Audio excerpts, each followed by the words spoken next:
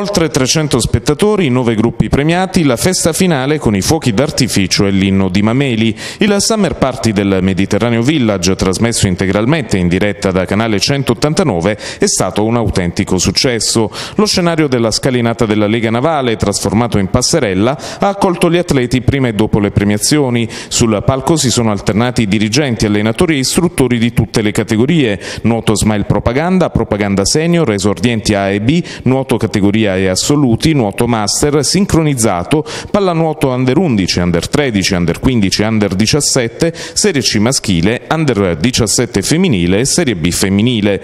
Ospiti della serata sono stati tra gli altri gli assessori comunali Francesco Cosa, Jonathan Scasciamacchia e Mino Ianne, il presidente del CONI Giuseppe Graniglia e il vicepresidente Michelangelo Giusti, il presidente del Panathlon Taranto Club Magna Grecia Giuseppe Candreva, il neopresidente della Lega Navale Federico Sion e il vincitore della Brindisi Corfù di Vela Leo Pellea, accolti dall'amministratore del Mediterraneo Village Antonello Castalia, dal presidente della Mediterraneo Sport Antonio Rigo e dal direttore sportivo Massimo Donadei.